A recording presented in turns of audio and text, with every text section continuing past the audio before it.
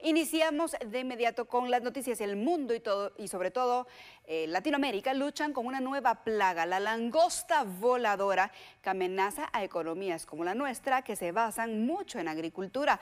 Conozca a continuación de qué se trata este nuevo peligro. Las autoridades de México y Centroamérica enfrentan una nueva preocupación además del coronavirus.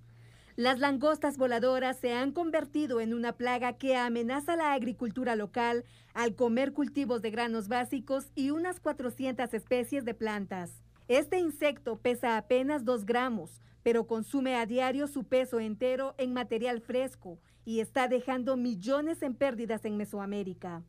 La langosta centroamericana ha alcanzado el estado de plaga en cuatro países, México, Guatemala, Belice y El Salvador y amenaza con desplazarse en las próximas semanas hacia países vecinos.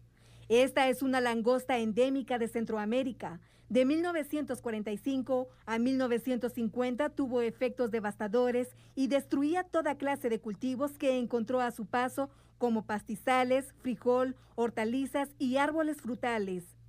Para erradicarla se usan bombas de mano, cuando los brotes son pequeños, pero también se preparan aspersiones aéreas.